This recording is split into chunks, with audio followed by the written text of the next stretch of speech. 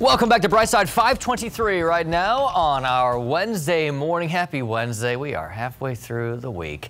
Looking out over the Atlantic, still not much to show you. Been talking about really the same thing for almost a month now. No development expected. We do have a lot of that Saharan dust out there over the eastern Atlantic. The waters in the Gulf of Mexico are relatively warm. But one thing that's interesting here in the, the central Atlantic, water temperatures are actually a little bit cooler than normal. But the thing is, right now, as we head through the early part of August into middle of August, the typical development area is still in the Caribbean, the Gulf of Mexico, and off the east coast of the United States. So as we start to get a little bit more of this potential development later this month, still relatively warm waters, but that cooler water in the Atlantic is actually a good thing that will help suppress the development, guys.